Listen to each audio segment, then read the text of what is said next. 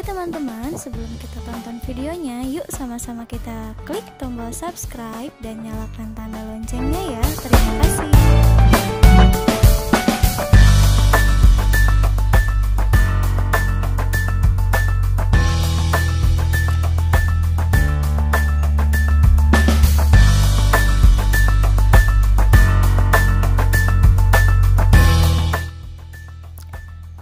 Transportasi adalah perpindahan manusia atau barang dari suatu tempat ke tempat yang lainnya dengan menggunakan kendaraan yang digerakkan oleh manusia, hewan, atau mesin.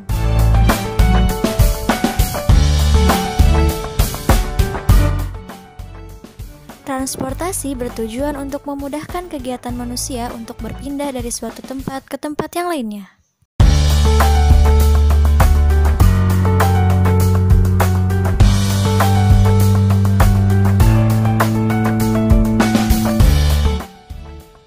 Transportasi berdasarkan perkembangannya dibagi menjadi dua yaitu transportasi tradisional dan transportasi modern.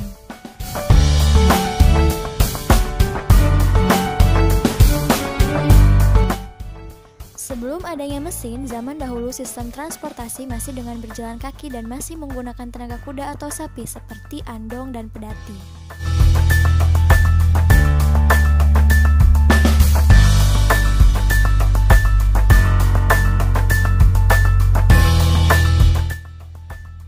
Transportasi modern adalah transportasi yang sudah menggunakan tenaga mesin serta membuat perjalanan lebih cepat sampai ke tujuan.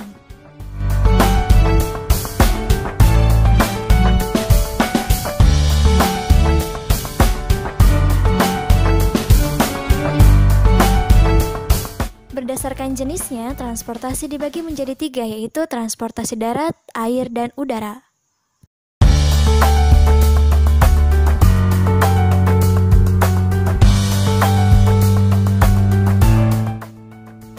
Transportasi darat adalah segala jenis kendaraan yang dapat berjalan di daratan, contohnya mobil, motor, bus, ambulan, dan yang lainnya.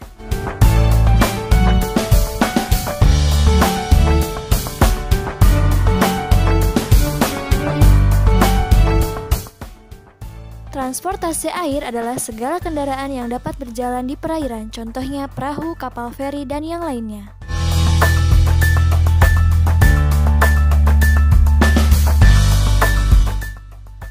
Transportasi udara adalah kendaraan yang dapat berjalan di udara, contohnya pesawat dan helikopter.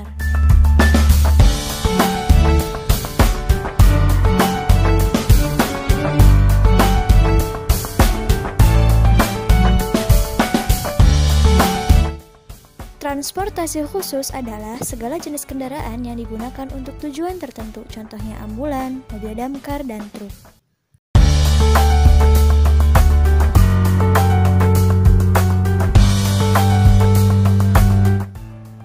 Transportasi khusus yang pertama yaitu ambulan.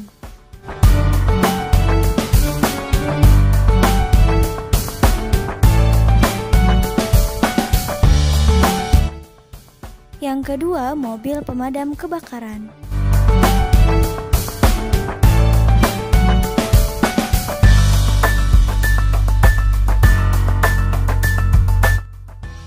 Yang ketiga adalah truk.